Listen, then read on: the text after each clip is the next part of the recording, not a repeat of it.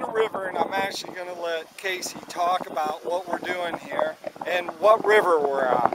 All right, well, right now we're on the Missouri River. We're up north of St. Joseph, Missouri, one of the nice river towns that was settled here along the river. And essentially what we're doing is we're just taking a tour to look at what we have today for the river setting, what the habitat's like today, and ultimately discuss what it was like 100 years ago um, before human intervention happened.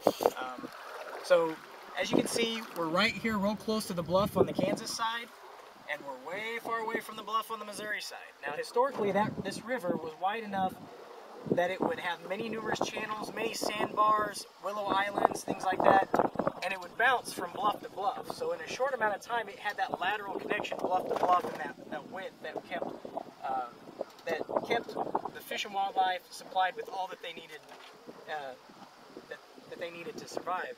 And so, what's happened over the past hundred years is we have needs.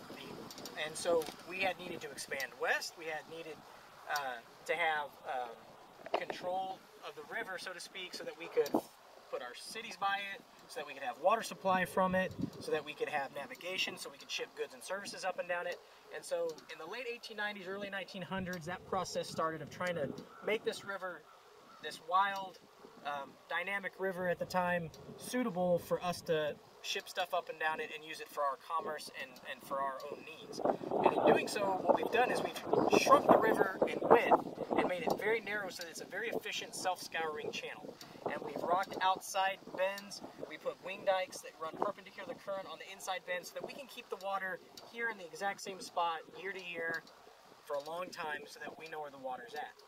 In doing so, we lost all those things that were good for the fish, that were good for the wildlife, the marshes, the wetlands, the side channels, uh, the numerous bars, and we've actually sped the water up. And so in those things, we've now found, after 100 years of hindsight, that we have species in the river now that are not doing as well as they were historically, um, and some of them are even endangered now, including the pallid sturgeon. So if they wanted to find out more about the Missouri River and what you guys are doing, where would they go? The main website for Missouri River um, uh, information that we that you can go to is the Missouri River Recovery Program, and it's a website housed by the United States Army Corps of Engineers, which is the managing entity of the water of the Missouri River, and it has to manage the water for all the states up and down the basin and all the authorized purposes up and down the basin, so that they can balance the water in this river out, so everybody gets a chance to use it, including fish and wildlife. Everyone needs to check that out. How cool is that? We're on the river today and we're going and we're going to show you some more. A ride like this you can only experience once and thank goodness that we have people like Kasey that are working hard to keep.